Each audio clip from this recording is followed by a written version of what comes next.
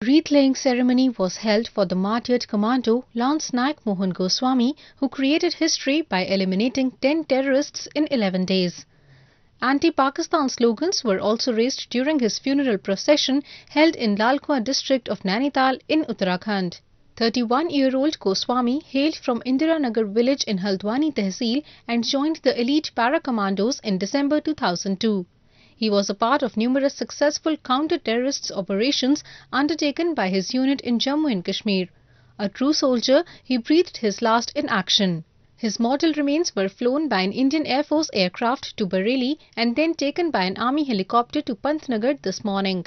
From there they were brought to his native place where he will be cremated with full military honours. He is survived by his wife and a 7-year-old daughter. Correspondent Vipul from Lalkuan for ANI.